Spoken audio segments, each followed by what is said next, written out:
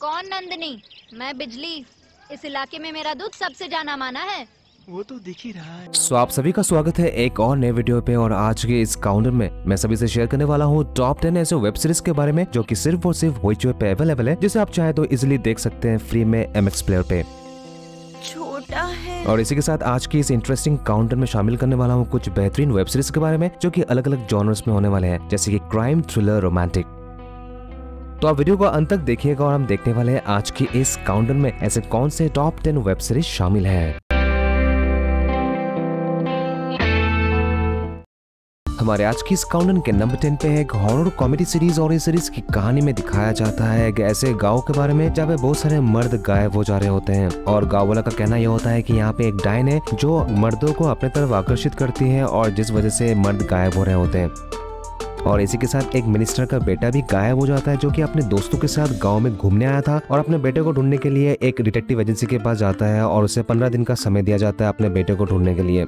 और जब वो डिटेक्टिव वाले यहाँ पे आते हैं तो पता चलता है कुछ अलग अलग मिस्ट्रीज के बारे में, लेकिन ये सारे मिस्ट्रीज के आप देख सकते हैं इस सीरीज़ में। ये सीरीज़ है कामनी जिसके आठ एपिसोड है और हर एक एपिसोड के ड्यूरेशन है अठारह से लेकर बीस मिनट के आसपास। सीरीज़ के आई एम रेटिंग है फोर पॉइंट नाइन शर्म नहीं आती? तेरे घर में पत्नी होने के बावजूद तू मेरे पत्नी के साथ रहा है। तभी मैं सोचूं, जब भी बैंड पार्टी के साथ बाहर जाता हूँ, मेरी बीवी की पतंग क्यों कट जाती है? साले इस सुअर के पिन नंबर नाइन पे है एक रोमांस कॉमेडी सीरीज़ और इस सीरीज़ की कहानी में दिखाया जाता है एक औरत के बारे में, जिसके कई आशिक होते हैं उसके पति के अलावा। जब उसके पति घर पे नहीं होती तो वो अलग अलग आशिकों को अपने घर पे बुलाती है और मज़े करती है। और इसी के साथ एक घटना दिखाया जाता है, जब उसके पति एक रात नहीं होती तो एक आशिक को बुलाता है, जो कि उसी रात डेढ़ करोड़ का लॉटरी जीता हुआ होता है। लेकिन उसी रात दोनों में एक झगड़ा होने लगता है और इसी झगड़ा के दौरान हाथापाई में वो आदमी मर जाता है। और इसके बाद वो औरत उस लॉटरी टिकट को अपने पास रख लेती है और किस तरह से इन सारी चीज़ों से वो डील करती है, क्या इन सबसे वो दूर जा पाएगा ये दिखाया गया है इस सीरीज़ के अंदर। ये सीरीज़ है मोचाक, जिसे आप देख सकते हैं एमएक्स प्लेयर में बिल्कुल फ्री में और इस सीरीज़ के सात एपिसोड है जिसकी ड्यूरेशन है आधे घंटे करीब। सीरीज़ के आई एम रेटिंग है फाइव नंबर एट पे है एक मिस्ट्री म्यूजिकल सीरीज़ और इस सीरीज़ की कहानी में दिखाया जाता है दो म्यूज़िक घराने के ऊपर। एक है रुद्रपुर म्यूज़िक घराना और दूसरा है आनंदपुर। और ये दिखाया जाता है आनंदपुर म्यूजिकल घराने के कुछ ऐसे आर्टिस्ट को माना जा रहा है और ये बताया जाता है कि सब कुछ इसलिए हो रहा है क्यूँकी उनका दुश्मनी था रुद्रपुर म्यूजिकल घराने के साथ और जिस वजह से ये सालों से चलता आ रहा है और इसी की वजह से उनका मर्डर हो रहा है। लेकिन एक्चुअली में क्या मिस्ट्रीज है, जब ये पता करे निकलते हैं अलाप और श्रुति और अपने म्यूजिकल एडवेंचर में ऐसे अलग अलग सीक्रेट्स को बाहर निकालते हैं जो की एक एक एपिसोड देखने वक्त समझ में आता है।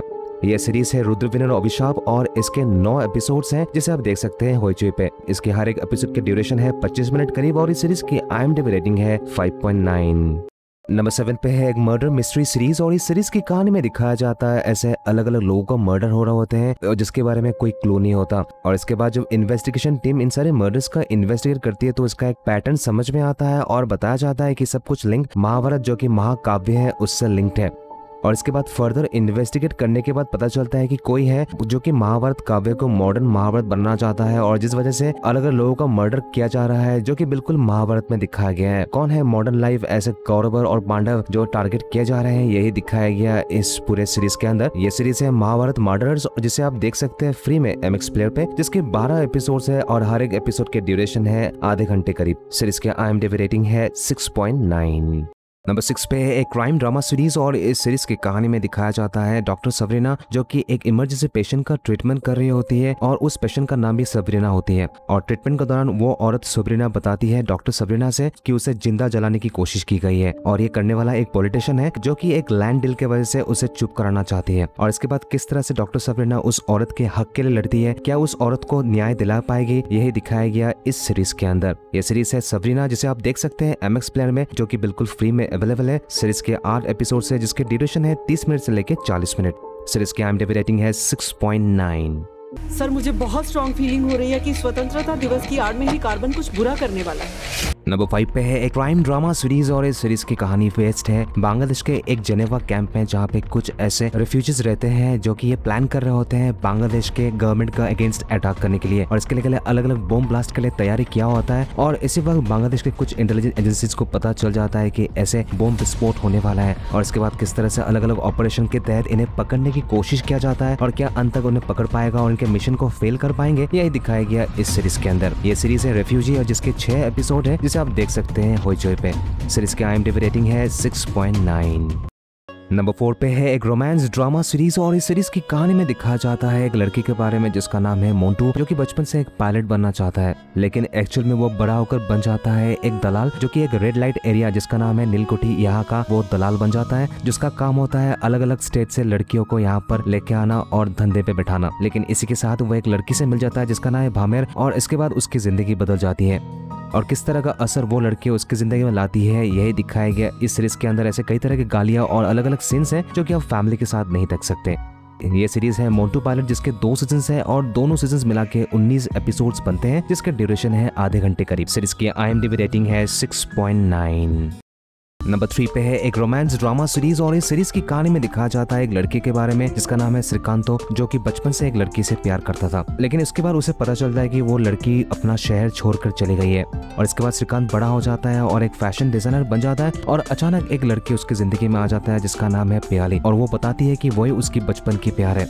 लेकिन धीरे धीरे श्रीकांत को पता चलता है कि वो ये लड़की नहीं है, कोई और है। और इसके पीछे क्या मिस्ट्री है, आप जान सकते हैं इस सीरीज़ के अंदर। ये सीरीज़ है श्रीकांतो जिसके नौ एपिसोड है, जिसे आप फ्रीली देख सकते हैं एम एक्स प्लेयर पे। सीरीज़ के हर एक एपिसोड के ड्यूरेशन है आधे घंटे करीब और इस सीरीज़ की आई रेटिंग है 7.1 नंबर टू पे है एक ड्रामा टीवी सीरीज़ और इस सीरीज़ की कहानी में दिखाया जाता है एक नए नवेली दुल्हन के बारे में, जिसका नाम है नंदिनी, जो कि अपनी इन लॉज के यहाँ शादी कर कर आती है और वो बिल्कुल खुश होती है और सब कुछ बिल्कुल ठीक दिख रहा होता है। लेकिन धीरे धीरे समझ में आता है, नंदिनी किसी चीज़ के लिए हमेशा दुखी रहती है और रोती रहती है और इसके बाद घर की बड़ी बहू नंदिनी को कम्फोर्ट करती है। वो समझने की कोशिश करती है, नंदिनी हमेशा दुखी क्यों रहती है? और इसके बाद नंदिनी ये बताती है की उसके साथ मैरिटल रेप और डोमेस्टिक वायलेंस हो रहा है, जिसको कानो कान कोई खबर नहीं है। और इसके बाद किस तरह से घर की बड़ी बहू नंदिनी को सपोर्ट करती है और उसे न्याय दिलाने की कोशिश करते हैं अलग अलग कोर्ट कचहरी और केसेस के बारे में दिखाया गया है, जो कि घर के रेपुटेशन के पार होती है। और ये बिल्कुल आप कनेक्ट कर सकते हैं, आज की दुनिया के ऐसे कई तरह केसेस देखने को मिलते हैं, जो कि कई औरतें इस तरह के शिकार होती है। और इसी के बारे में दिखाया गया इस सीरीज़ के अंदर। ये सीरीज़ है संपूर्ण, जिसके छह एपिसोड है, जिसके ड्यूरेशन है आधे घंटे करीब। जिसे देख सकते हैं पे और इस सीरीज़ की आई रेटिंग है सेवन हमारे आज की इस काउंटन के नंबर वन पे है क्राइम थ्रिलर ड्रामा सीरीज़ और इस सीरीज़ की कहानी फोकस करती है एक मछुआरे के गाँव जिसे बताया जाता है गेलपुर और इस पूरे गाँव का कंट्रोल करता है एक पॉलिटिकल लीडर जिसका नाम है डब्लू भाई और वो यहाँ के मछुआरों को तरपाता है अपनी आमदनी निकालने के लिए और ये सब कुछ करता है यहाँ के लोकल पॉलिटिशियन से। इसी के साथ दिखाया जाता है मंदार के बारे में जो डब्लू भाई के लिए काम करता है और डब्लू भाई जो भी कहता है वो वही करता है। और ऐसे डब्लू भाई के कहने पर ऐसे कई मर्डर्स वो कर चुका है। और इसके बाद मंदार को यह पता चलता है एक डाइन से कि वो डब्लू भाई से बड़ा पॉलिटिकल लीडर बन सकता है और इसके बाद वो अलग अलग साजिशें करने लगता है डब्लू भाई को मारने के लिए। क्या वो डब्लू भाई को हटाकर वो बड़ा पॉलिटिशियन बन पाएगा? और यही दिखाया गया इस पूरे सीरीज़ के अंदर जो की काफ़ी बेहतरीन है। ये सीरीज़ विलियम शेक्सपियर के मैकबेथ से लिया गया है ये स्टोरी और ये सीरीज़ 18 प्लस है। और इस सीरीज़ का नाम है मंदार। जिसके पाँच एपिसोड है और हर एक एपिसोड के ड्यूरेशन है 40 से लेकर 50 मिनट के आसपास। सीरीज़ की आई रेटिंग है 7.9 तो दोस्तों, मैं आप सभी से उम्मीद करता हूँ कि आपको यह वीडियो पसंद आई होगी। अगर आपको पसंद आई है तो आप लाइक शेयर सब्सक्राइब ज़रूर कीजिएगा, क्योंकि हम इसी तरह का कंटेंट अलग अलग टॉपिक्स पे लाते रहेंगे इसी चैनल पे। अगर कोई कमेंट्स हो, आप ज़रूर कमेंट सेक्शन बता सकते हैं। अब मैं मिलता हूँ अगले वीडियो में। तब तक अपना ध्यान ज़रूर रखिएगा। Thank you so much watching this video guys take care Jai Hind